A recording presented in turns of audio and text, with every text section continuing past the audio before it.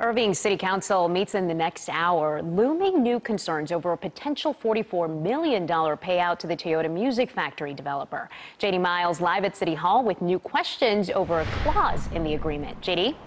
Hmm?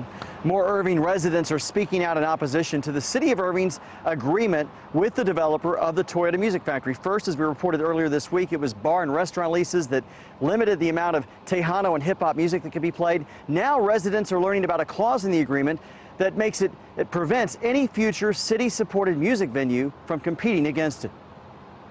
As a longtime Irving realtor, Lisette Caraballo needs to be able to show off what her city has to offer.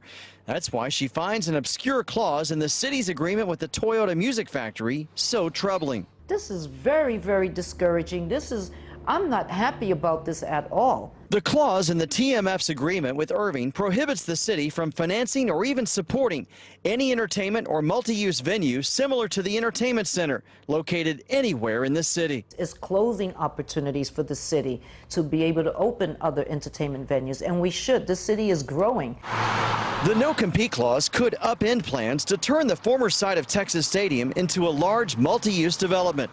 That's one of the reasons Irving City Councilman Allan Meagher opposes paying the developer of Toyota Music Factory $44 million for completing the entertainment complex. I disagree with that because we want Irving to be a city that everybody comes to, a center of Texas, basically, a music industry. And we tried to do that by starting the Music Factory. And if we have our hands tied about future music venue developments, it's going to hurt the city. And the developer sent us this statement about the no-compete clause. The ARK Group City of Irving agreement does have a no-compete. It does not prevent construction of entertainment venues. It only prevents ARK Group or the City of Irving from investing in or managing a similar entertainment center. The city is expected to decide soon on whether to approve that long-term agreement and pay the developer the $44 million it's owed.